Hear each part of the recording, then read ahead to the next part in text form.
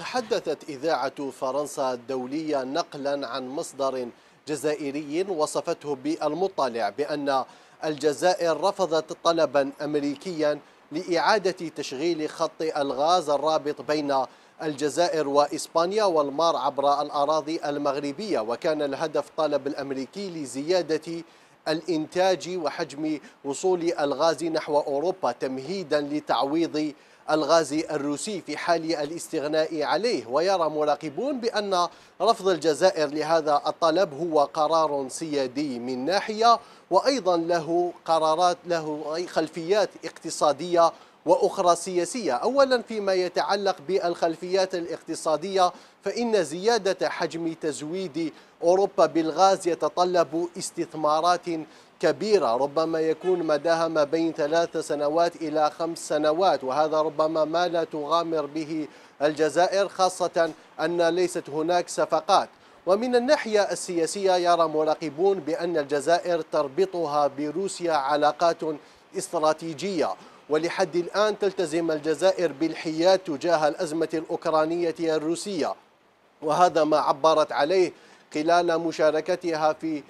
جمعية الأمم المتحدة حيث رفضت التصويت واختارت الحياد تجاه هذه الأزمة وقالت بأنها ملتزمة بالمواثيق والقوانين الدولية وهذا ما جعل الجزائر لا تطرح نفسها كبديل لسوريا لروسيا عفوا من أجل إمداد أوروبا بالغاز خاصة أن الجزائر تعتبر ثالث بلد مزود للغاز بعد كل من روسيا والنرويج وتزود الجزائر إيطاليا وإسبانيا يعني تعتبر هي المزود الرئيسي لهذين البلدين عبر أنابيب مباشرة تمر عبر البحر الأبيض المتوسط. يعني مراقبون يؤكدون بأن الجزائر من جهة لا تريد أن تغامر اقتصاديا بالدخول في استثمارات قبل وجود عقود وأيضا من الناحية السياسية لا تريد الجزائر أن تخسر علاقتها الاستراتيجية مع موسكو خاصة ما تعلق بالتعاون الأمني وتعتبر الجزائر من أكبر المستوردين للأسلحة الحربية من موسكو وتربطها اتفاقيات أمنية ودفاعية مشتركة منذ أعوام عديدة طيب على الشق الآخر هل تأثر الشعب الجزائري بأزمة وتداعيات الأزمة الأوكرانية؟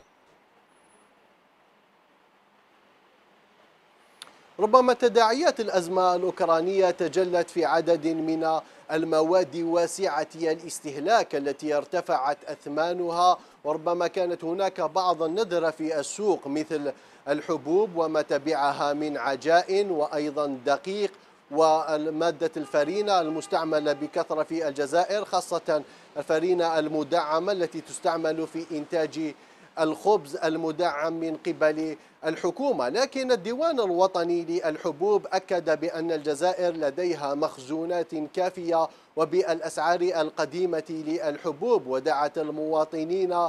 لعدم التوجس من هذه الأزمة وقالت بأن هناك تجار يحاولون خلق النذر واستغلال هذه الأزمة كما دعت الحكومة إلى ضبط الأسعار وعدم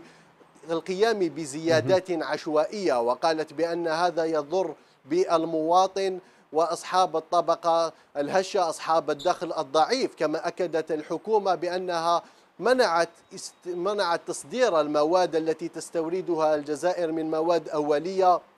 مثل الحبوب وكذلك نعم. مختلف أنواع الزيوت وقالت بأن هذه الأعمال تعتبر تخريبا للاقتصاد الوطني وأمر الرئيس عبد المجيد تبون وزير العدل بسن قانون يعاقب ويجرم كل الذين يقومون بتصدير أو تهريب المواد الاستراتيجية المستوردة من الخارج والتي لا يتم إنتاجها هنا في الجزائر